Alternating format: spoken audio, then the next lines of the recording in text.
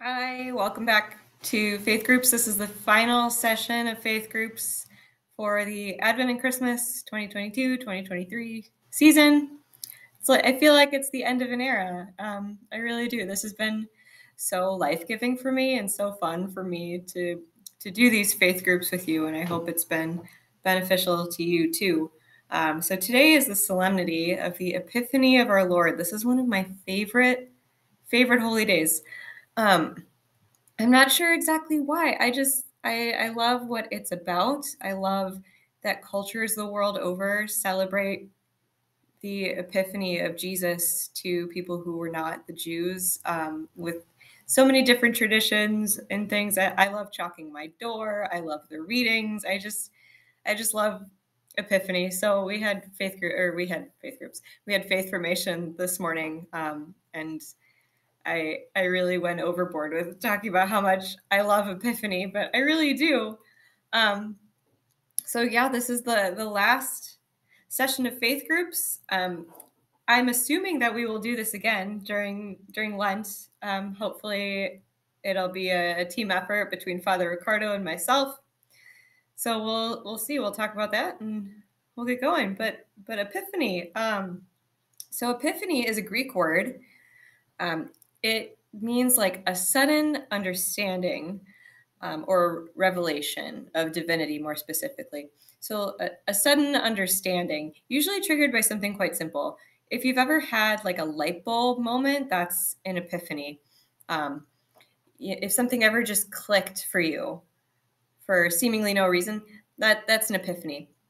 And we've taken that word and we've moved it to to now it means specifically the manifestation or the revelation of Jesus to the Gentile people. Um, and that's that's what happened when the Gentiles visited Jesus. When the Magi visited Jesus, they had a sudden understanding of divinity with something so simple, this baby in a simple, humble, poor manger. Um, they were the, the Magi were the first visitors of Jesus at his home. And so that's why this weekend at the parish we gave out blessed chalk so you can go bless uh, your own homes and your own your own families. Um, you're gonna have to Google that if if you don't know it off the top of your head. Go go Google it. Um, we have blessed chalk coming out of our ears, so come get some if you didn't get some. Um, we don't know how long after Jesus's birth the Magi visited the Holy Family. Um, Matthew is the only gospel in which this instant this activity appears and he doesn't tell us. He just says sometime after jesus's birth. Um, so the nice picture you have in your head of the three kings coming um, to to the creche is not entirely accurate.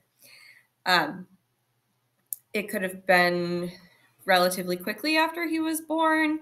Um, it also could have been up to two years after jesus was born. And we know that because when herod figures out um, when the star appeared, you know, he he gets all this information from the Magi before they know he's kind of a bad guy.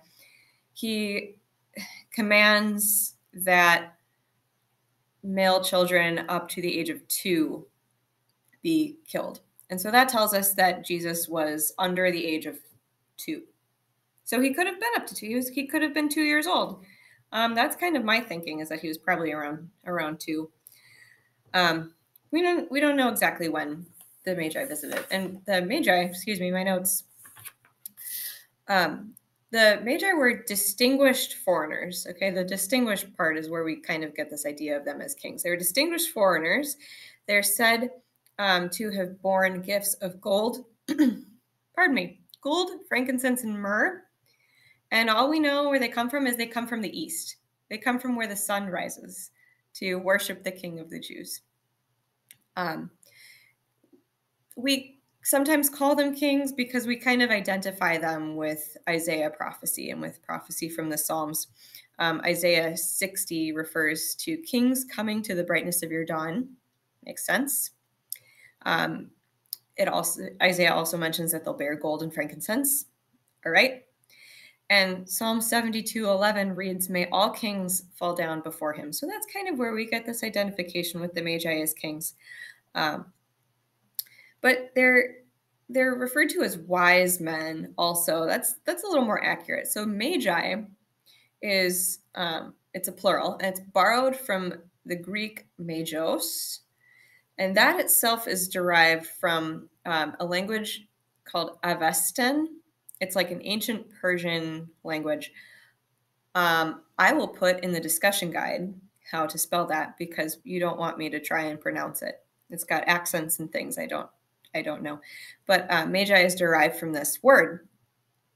And that term itself refers to a priestly caste of a religion called Zoroastrianism. Zoroastrians are the original monotheists. We often think of the Jews as the oldest monotheistic religion, and that's not quite accurate. Zoroastrianism is actually far more ancient. And I actually thought that this was a dead ancient religion until I went to college and met one.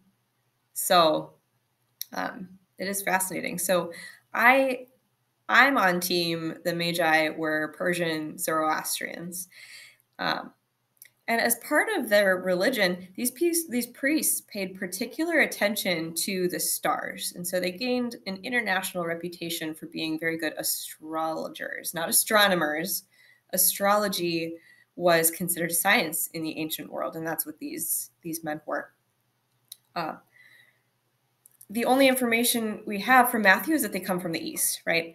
Um, the the Persian Empire was very tolerant of other religions, lending credence to um, them looking for the newborn king of the Jews and being open to visiting and bringing him gifts.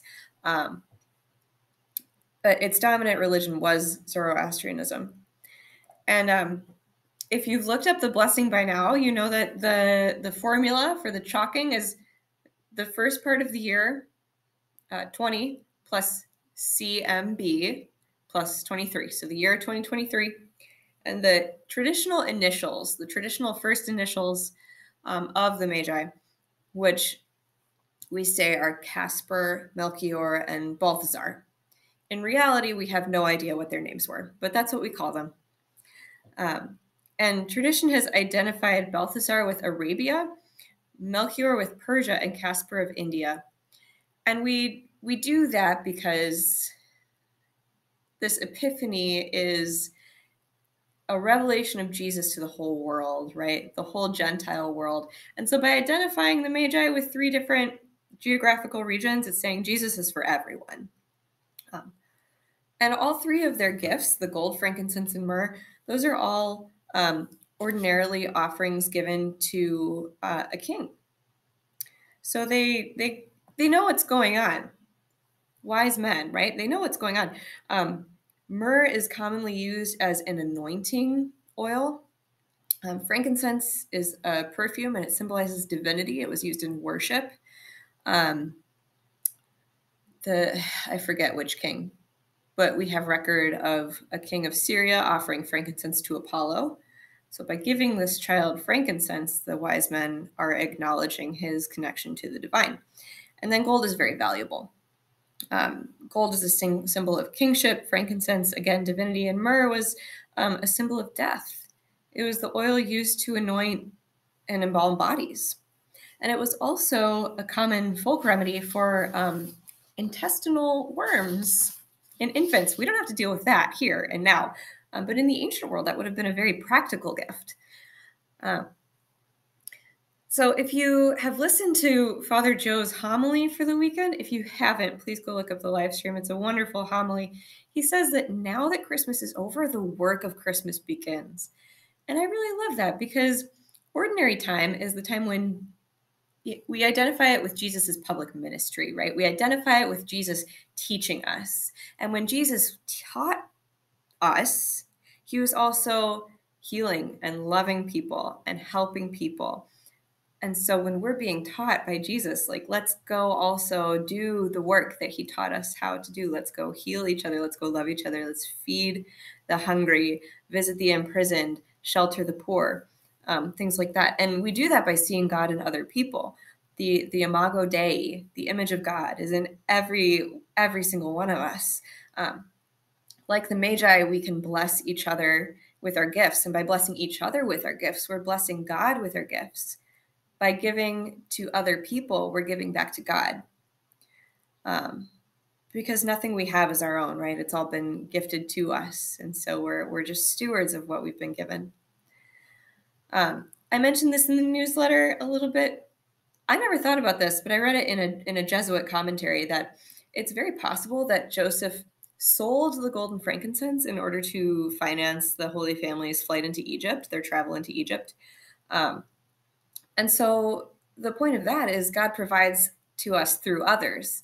He doesn't always, you know, just just you know, give us what we need on a silver platter. We're going to find things through others. It's like that old joke about um, a, a man needing rescue um, in a hurricane. He's on his roof. You know, a helicopter comes by and he says, "God will take care of me." And then at the end of his life, this man asks God why he didn't rescue him and god says i sent you a helicopter. What else do you want? You know so so god provides to us through other people. Similarly god provides through other people through us. So listen to those promptings and and serve each other. The first reading today predicts the magi's visit. It says the wealth of nations shall be brought to you gold and frankincense. Um, the psalm every nation on earth will adore you. Um, again, the Magi were all Persian Zoroastrian priests, but we identify them with different cultures and different regions because God is for all, right?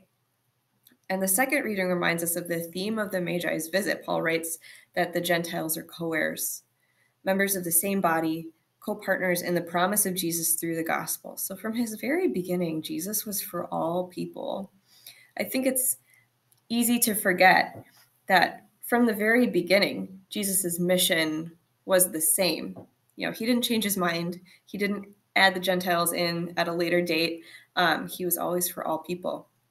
I'm I'm running out of time on my recording, so I just want to close with um, something from an essay written by Father James Martin um, from his his weekly outreach um, Sunday reflection. Um, let's see, where should I start? The good news, that is, the incredible news that God became human, embarked on a public ministry of preaching and healing, and suffered, died, and rose again, is for everyone. It is not a secret bit of knowledge meant for a few, it is for the whole world. More importantly, Jesus is for everyone. One of my favorite quotes from the late Pope Emeritus Benedict XVI is this beautiful line The happiness you are seeking the happiness you have a right to enjoy has a name and a face. It is Jesus of Nazareth. It is not simply that a piece of encouraging news has come for all people, it is that a person, Jesus Christ, has come for all people. He has come for the poor, like Mary and Joseph, for your family, like Elizabeth, for those on the margins, like the shepherds, and for people from the farthest reaches of the world, like the Magi. And more specifically, he has come for you. Just keep looking for the manifestations of his presence in your life. He will be there in all his color, glory, and joy. Um, so as we close today, um, just just remember that Jesus, from the very beginning, has been for all people. Jesus, from the very beginning, has been for you, uh, joyfully um, and humbly. And if we're going to be Christians, if we're going to be Christ followers, then that is the model that we follow, right? Jesus is for all people. Um, so we need to be for all people. Jesus is in all people, so we need to see Jesus in all people. Um, so that's my challenge to you as we enter ordinary time, as we enter the the teaching ministry of Jesus. Um, try to see, try to see Him everywhere. Um, keep keep reading your Bibles. If you kept up with the five minutes a day challenge, um, great. Maybe extend it to ten. Uh, if you haven't, then you know maybe maybe pick it up again. Um, the the Bible is where we find the Word of God. It's where we find Jesus. If we're going to know Jesus, then we need to know like that's that's the best way to find Him, is in His Word and what He said. Um, I have 15 seconds left on my recording. Stop by and say hi um, thanks for going on this journey with me. I've really enjoyed it with all of you. Um, happy Epiphany and God bless all of you. Bye.